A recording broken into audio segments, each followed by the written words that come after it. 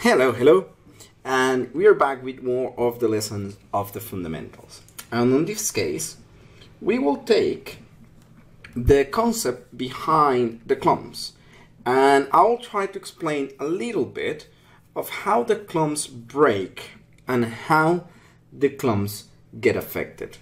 So we saw before that there are different forces that affect our clumps, right?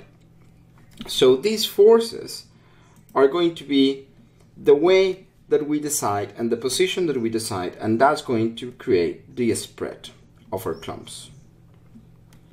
But there are also different ways to open up the clumps. Let's say that my force is here. And the moment that I decide that I have a second clump system, so that the moment that I actually duplicate these you have it here. So this is my first clump system, right? And I created a second, I create a second clump system here. So let's say that I have one clump.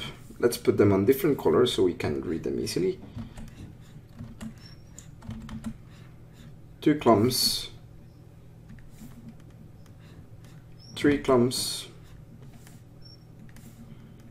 and four clumps. So those are my clumps. So I have these four clumps creating that clump inside, right?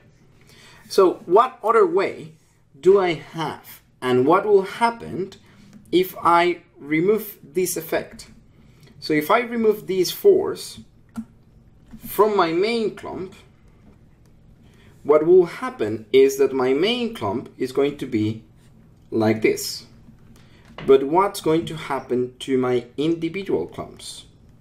So my individual clumps now will not follow the shape of the main clump. As simple as that. So we will have, as a result, something like this. So now the influence of this clump is non-existent and we just have the shape of this clump if my force it's zero force. So no force, full force or full attraction, however you want to call this. So knowing that, we can control certain parameters and read certain looks.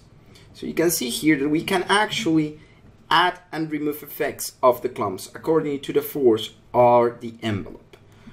But there is a different parameter that affects also this force.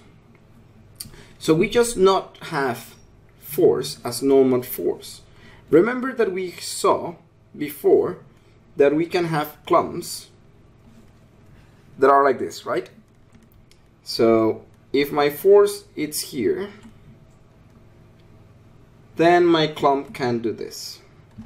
See? Oops.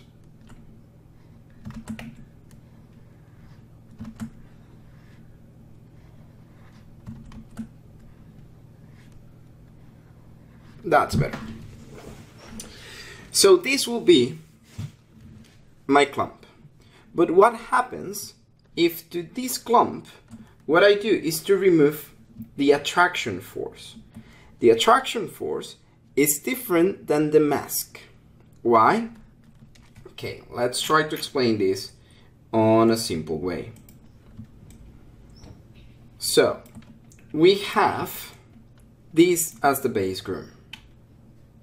Let me just turn off the other one. Is this one? I have all my other nodes here too. So let's try to clean this up a bit. And let's put this at the end. If you hear some odd sounds, it's that it's super, super windy and the window sounds and everything is sounding right now. So, what happens and how the tightness work? That will be the force of attraction. It's normally called tightness. So it will be the force that is produced from the curve or from the center of this clump. Let's get a more vivid color.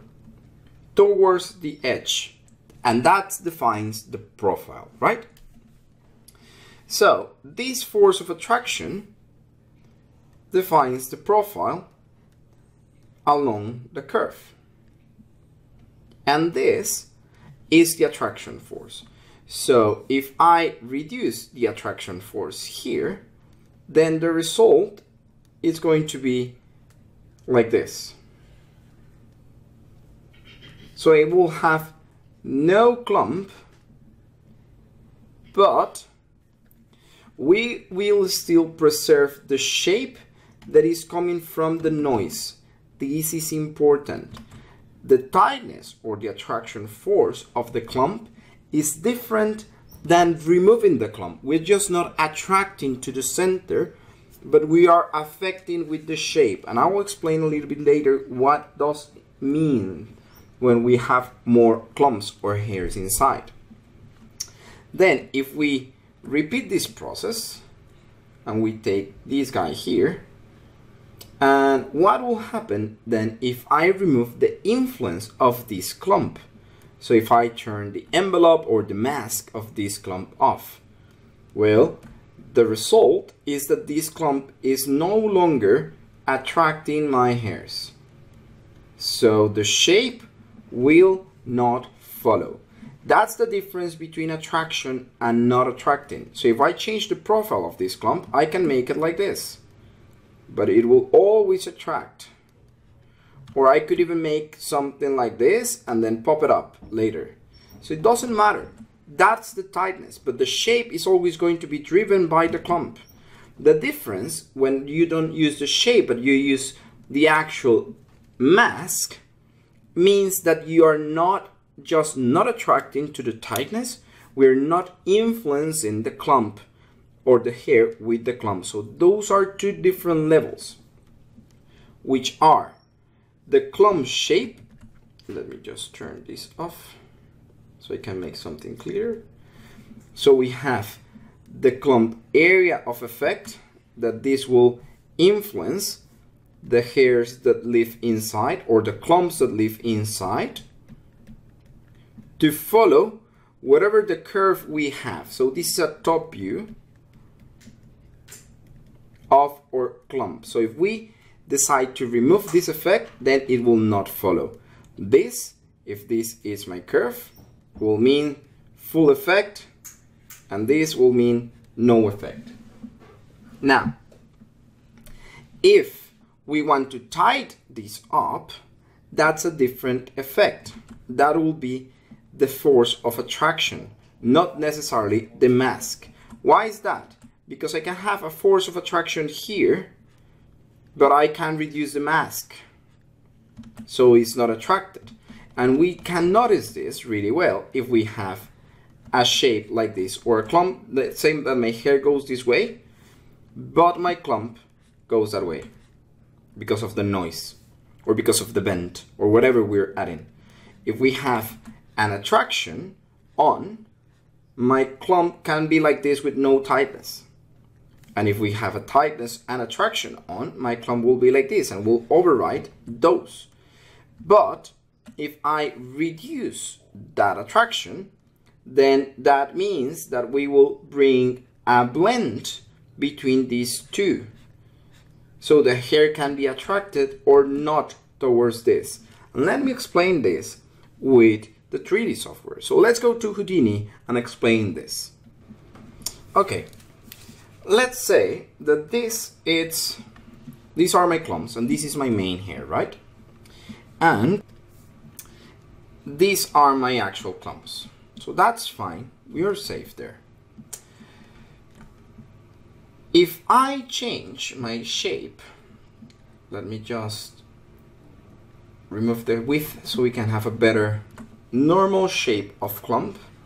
And let's have something a little bit tighter. So like this. So we have a tight clump. It's quite sensitive let's just get something more like this if I have a super tight clump that's not a problem and I have this as my guide curves so they are the clumps, right? So they're being attracted by and they define the clump shape. So what happens if on my hair, on my clump node, I remove the blend? You can see that the blend, the moment that I remove it, my clumps are not being attracted anymore. But if by the contrary, I remove the tightness, the effect looks the same. But that's only because my guides are straight and perfectly straight. So if I add a frizz or a noise to this effect, so I can break the shape of my guides, let's add something a little bit more random so we can see it better. So you can see here, these are my guides here, quite crazy guides. But they are following, the hairs are following one to one. Maybe it's too crazy to explain the experiment. Right? So, if I remove the tightness, you can see that even if I remove the tightness, my hairs are still following the main shape. Even with the tightness out. That's really important because that's the difference between tightness and clump because this is just the attraction force that we were discussing before this is the attraction force that this curve generates and that's what it's trying to follow but the moment that instead of using the tightness and if I bring the tightness to 1 I use my blend you can see that the effect of my guide gets lost. So it goes, goes back to the actual zero base. That's the main difference that you will find between tightness and mask. They relate and they have a similar effect, but we have no tightness here. The difference is that we do have a mask. So the mask will drive the hairs and the tightness or the force will be the one that attracts towards the main curve. So that's for the actual profile. And also I want to show you what does it do to the secondary clumps, but that will be on the next tutorial.